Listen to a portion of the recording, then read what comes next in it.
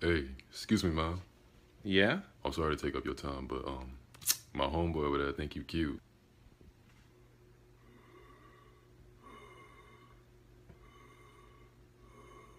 Uh-uh, what's wrong with him? Ain't nothing wrong with him. Does it look like something wrong with this man? Yes!